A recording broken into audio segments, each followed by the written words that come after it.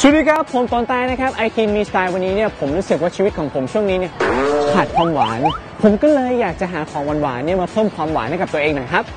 Love hurts, whether it's right or wrong.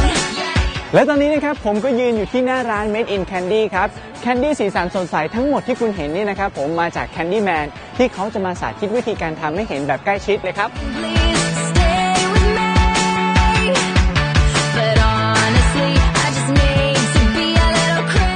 และตอนนี้นะครับผมก็ได้ candy เนี่ยไปเพิ่มความหวานให้กับตัวเองแล้วล่ะครับ เพื่อนๆ คนไหนสนใจเนี่ยสามารถเดินทางมาได้นะครับ ที่ร้าน Made in Candy ครับ อยู่ตรงข้ามกับโรงภาพยนตร์ Mega Cineplex กันนะครับผม วันนี้เนี่ยผมลาไปก่อนแล้วกันนะครับ ส่วนสัปดาห์หน้า iTeen มีสไตล์จะพาทุกคนเนี่ยไปเที่ยวไปกินไปช็อปที่ไหนในเมกาบางนาแล้วก็ติดตามดูให้ดีแล้วกันครับ